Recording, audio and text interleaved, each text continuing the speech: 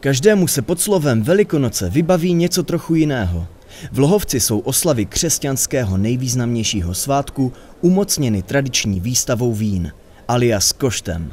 Celkem bylo 677 vzorků, z toho bylo 150 červených, 48 růžových, rose a 479 bylo bílých. Kategorii bílých vín se stal šampionem Jaroslav Šlichta s Tramínem, mezi červenými u poroty nejvíce zabudoval Sauvignon Josefa Jankoviče z Charvatské Nové Vsi.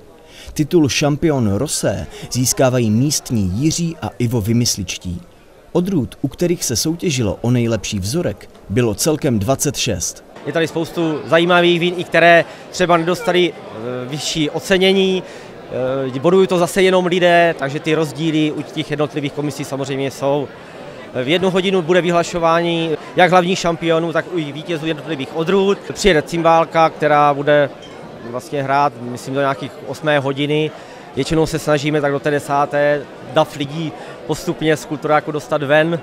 Jo, samozřejmě někteří po zroušeném stavu se jim moc nechce, vůbec když jsou to samozřejmě turisti, kteří tady spí. Jo, takže tady spíše, spíše volná zábava. Kdo chce ochutnat všechny šampiony, měl by na výstavu vín dorazit co nejdříve. Součástí vstupného je vždy sklenička, do které vám místní nalejí, co si jen z katalogu vyberete. Některé podobné akce zavádějí kupóny nebo bloky, ve kterých jsou vzorky různě oceněny. Takový systém ale v Lohovci zatím nehrozí a košt pokračuje v tradičním pojetí. Zatím určitě neuvažujeme o tomto způsobu, být nějaké bločky, něco takového. E, samozřejmě bylo, bylo by to zase dobrý, protože ty lepší vína, které byly jako bločkově dražší, by dostali delší dobu, ale my to neděláme pro biznis, my to děláme pro, to, pro, pro folklor a pro to, aby to tady vlastně zůstalo v tom Lohovci. Už podle počtu návštěvníků, kteří zaplnili kulturní dům i jeho venkovní prostranství, je jasné, že o jihomoravské víno je velký zájem.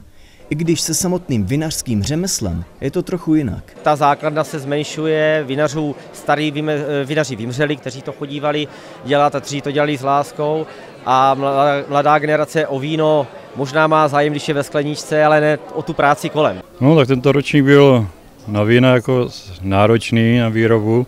Bylo to kvůli počasí, že bylo sucho, takže ty, s těma vínama bylo a teplo, když se sbíralo, takže tam eh, se s tím museli ti vinaři trochu poprat, aby z toho něco udělali.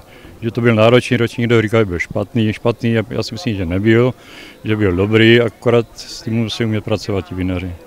Hodnocení vím probíhá vlastně tak, že Eh, se udělají komise a z těch komisí se po, eh, komise povybírají vlastně seřadí vína od lepšího po nejhorší. Většinou těch 18.5 už bývá diplom a pak se z toho vybere vítěz odrůdy. Odkud jste přijeli za náma?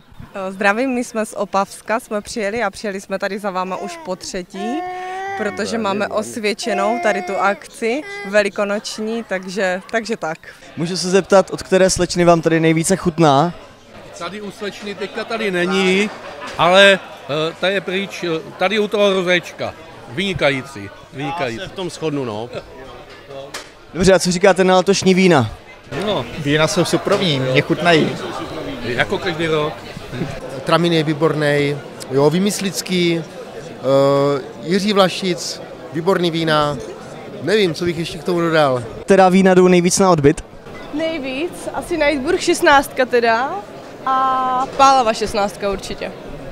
Tanci a poslechu celé odpoledne a večer hrála cymbálová muzika Vladimíra Beneše. Místní to ale ve finále rozjeli taky v zajímavé kombinaci. Housle, basa a kachon. Z Lohovce pro regionální televizi Jich Josef Vališ.